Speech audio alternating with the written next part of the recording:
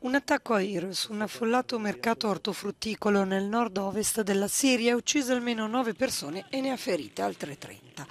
Gli attivisti sostengono che la Russia, uno dei principali alleati del presidente siriano Bashar al-Assad, abbia lanciato l'attacco sulla città strategica di Gisr al-Shugur nei pressi di Idlib, controllata dall'opposizione. Secondo un giornale filogovernativo siriano, l'obiettivo erano militanti e un deposito di armi.